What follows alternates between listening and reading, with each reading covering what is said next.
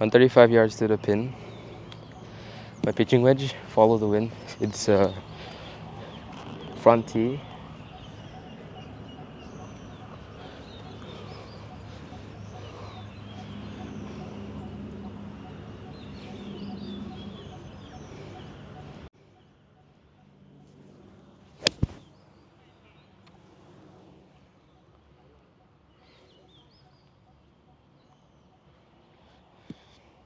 Chip right here.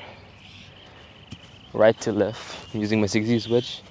Flop it a little bit. No, it can't flop. It's too thick.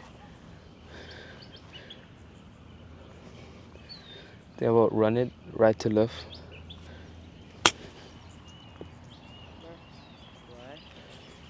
Okay, five feet putt. Left to right. Right, right to left.